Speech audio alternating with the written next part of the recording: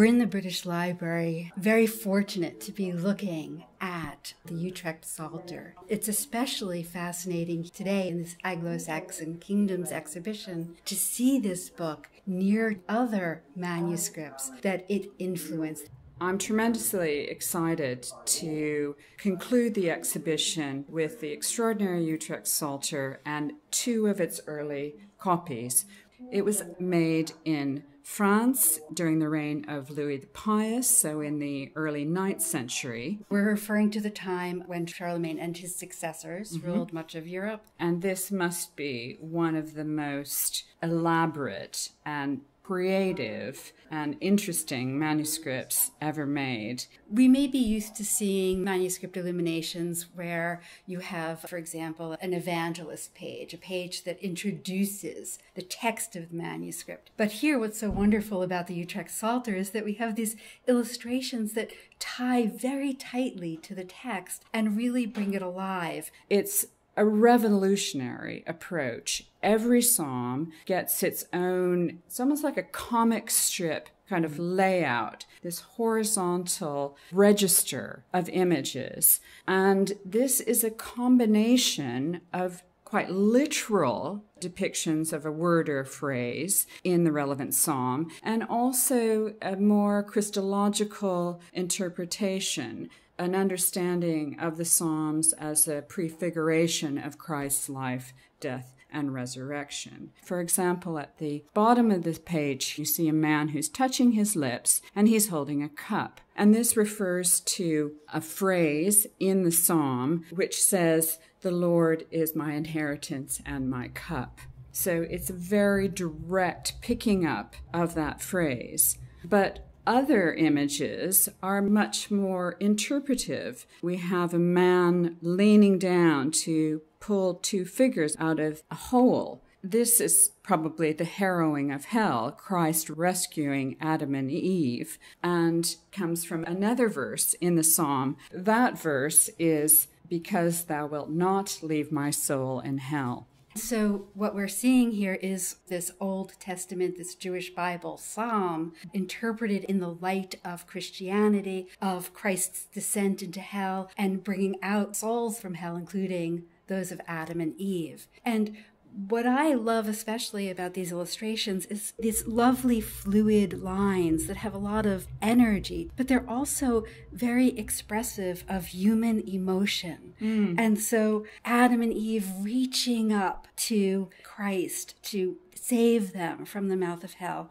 or one of my favorites is in Psalm 13, one of the lines is, You have confounded the counsel of the poor man. And we see what looks like a woman with smaller figures, perhaps children, and a sense of their being neglected. They seem in need of pity and sympathy, which the woman in front of them is pleading with the ruler to provide to them, but he is involved in evil. And we see those serpents twining around the canopy that he sits under and the violence around him. These are people who are not listening to the word of God. And we see God above them, surrounded by angels. This agitated, gestural, very emotional, as you say, style had an incredible impact on the art of Anglo Saxon England, which is why it's in the exhibition. And we can see the influence of this in the book that's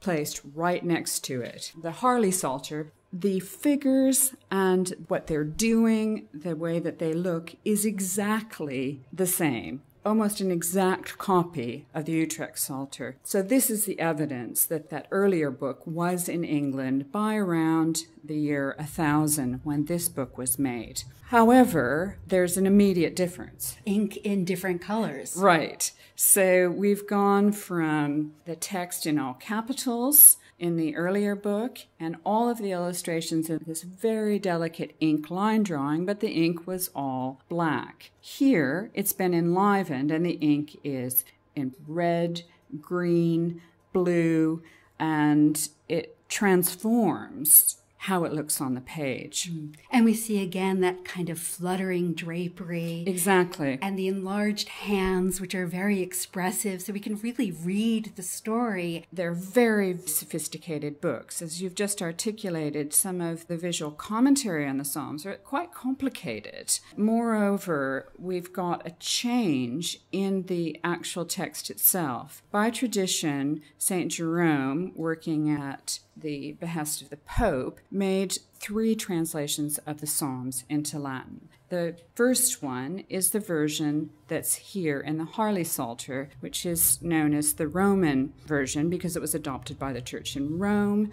It was in the Anglo Saxon period, the version that most often occurred in English Psalters. In contrast, the Utrecht Psalter has the Gallican version that was adopted in Gaul in the Eadwine Psalter, we've moved another century later. Here, three versions appear in parallel columns.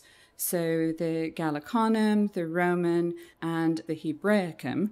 But moreover, you've got two more versions.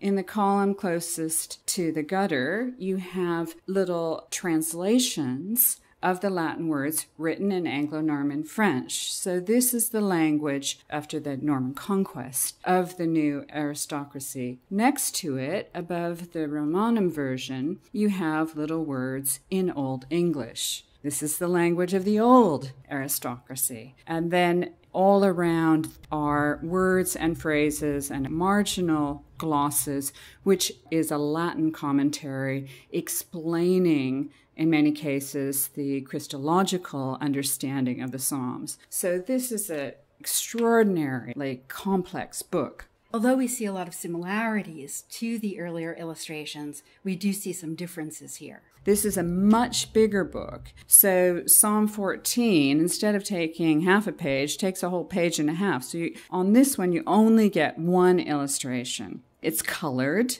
it's line drawings, but we're seeing a move into what we sometimes refer to as Romanesque art. The fluttering draperies you mentioned, they're gone. Everything's straight, it's linear, it's more patterned, it's more static the illustration has been put in a box, so it's separated from the text. We're entering into, again, a different aesthetic, but again, faithfully keeping the sort of details the man holding his cup, Christ reaching down to rescue Adam and Eve. Every time I come in and look at the details, I see something new. What a treat to see these three manuscripts side by side here in this remarkable exhibition of Anglo Saxon kingdoms in the British Library. It's really wonderful to be here. Thank you.